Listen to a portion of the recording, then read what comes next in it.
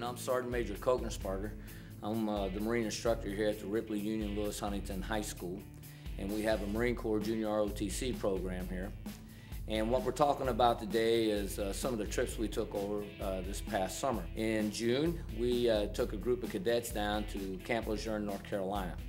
At Camp Lejeune, that's uh, a Marine Corps base down there, and uh, they are the host of the 2nd Marine Division and the 2nd Marine uh, Logistics Group, the 2nd Marine Expeditionary Force. The purpose of taking the cadets down there uh, was to give them an orientation of what it's like to be on a Marine installation and so they could closely observe Marine and Navy life uh, as a sense of uh, the Department of the Navy. Hello, I'm Cadet Lieutenant Colonel Christian Wright. I'll be interviewing three cadets about some various camps they went to this past summer.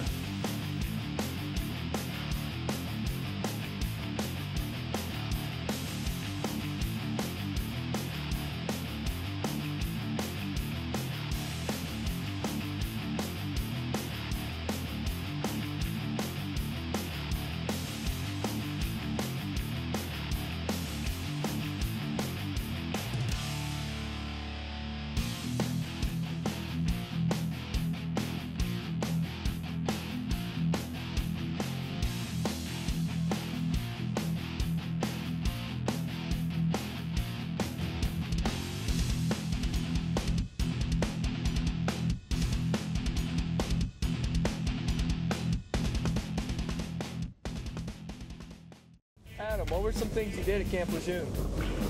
Um, well, to start off, the beginning was mainly just learning how to live in the squad bed.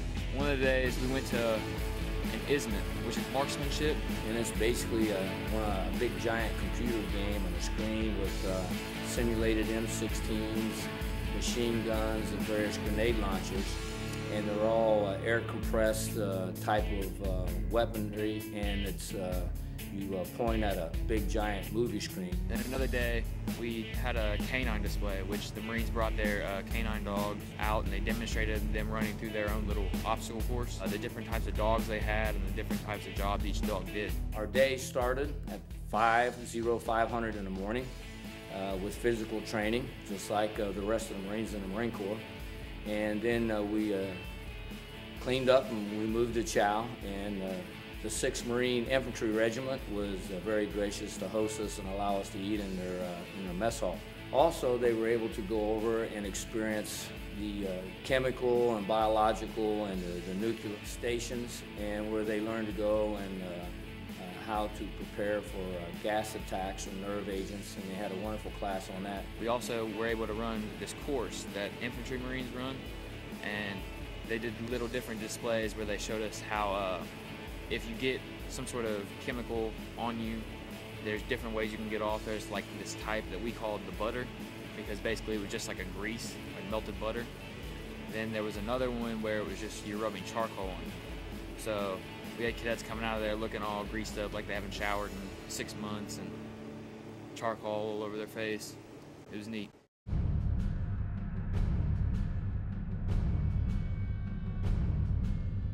One of the more favorite ones they enjoyed was the Marine Corps Martial Arts program, uh, where they uh, learned and was able to uh, participate in a few exercises in the uh, training. Uh, they were uh, shown some correct positions of defensive positions.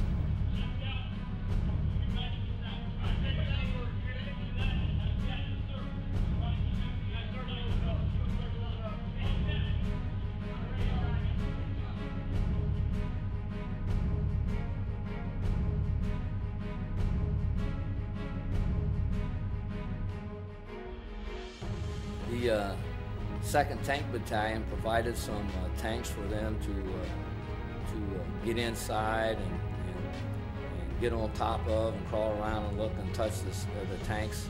They actually had a tank unit come out and show us all the moving parts and basically teach us everything about a tank that they could in the amount of time we had. It was awesome. That was probably one of the most fun parts uh, of all the cadets, just getting out there and getting on a live M1A1 Abrams.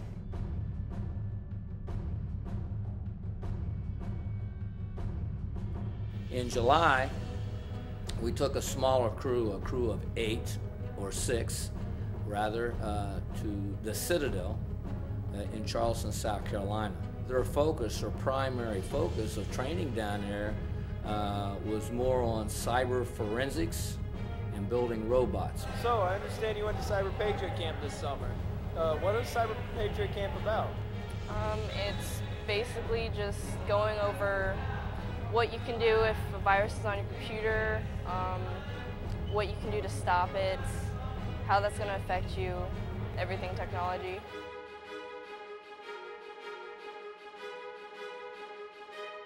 They had a great deal of uh, uh, computer time, uh, cyber time, and uh, they learned a great deal about cyber forensics. It brought me to think about how many viruses and how many people are trying to break into America and steal all our secrets.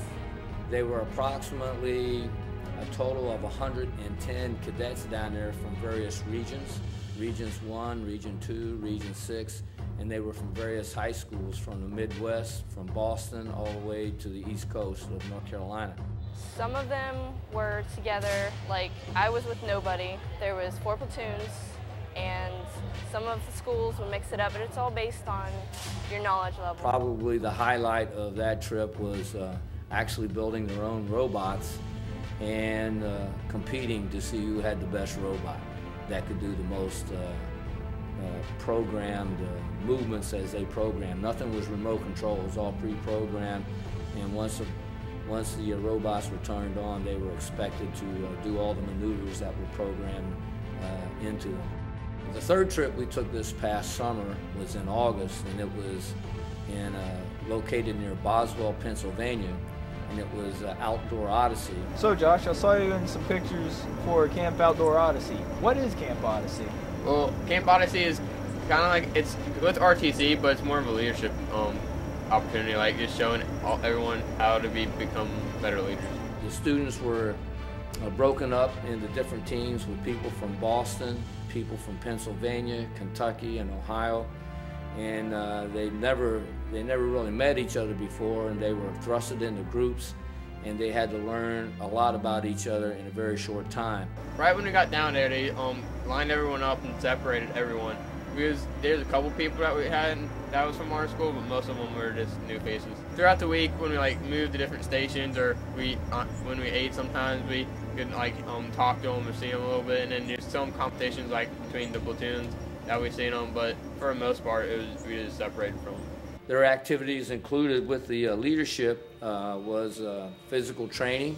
Uh, they uh, low ropes course, high ropes course, zip lines, uh, whitewater rafting, and they did an eight mile hike up the Allegheny Mountains in which they had to carry their own tonnage and outdoor equipment, and they stayed overnight up in the Allegheny Mountain, Mountains, and uh, they hiked back down to uh, the facility. Some experiences that like stand out for me is um, we was on a hike and like during the, like towards the end of the hike there was crash landing where an airplane crashed down, and um, we just all just shared our stories like our either our backgrounds or um, different things about us, and we just all bonded more like a family instead of just a group of people. The Saturday that they left, uh, they all got together and they went out and ran this 5K run.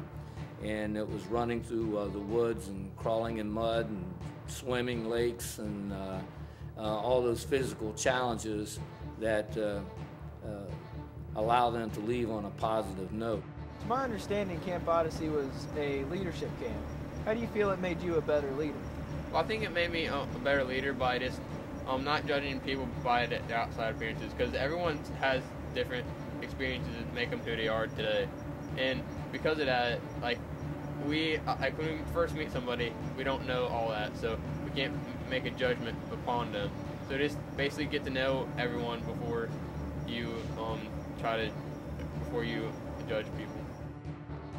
Cadets did a phenomenal job, and uh, it just uh, made them hungry for more.